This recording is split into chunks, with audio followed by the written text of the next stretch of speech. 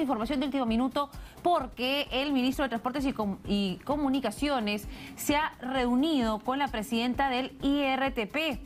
Vemos entonces a Juan Francisco Silva, ministro, eh, reuniéndose con Rosa García More, presidenta ejecutiva del Instituto Nacional de Radio y Televisión del Perú, eh, según esta cuenta del Ministerio de Transportes, para tratar sobre la importante labor que desempeña esta entidad y reiterarle su compromiso de respeto irrestricto a la libertad de expresión.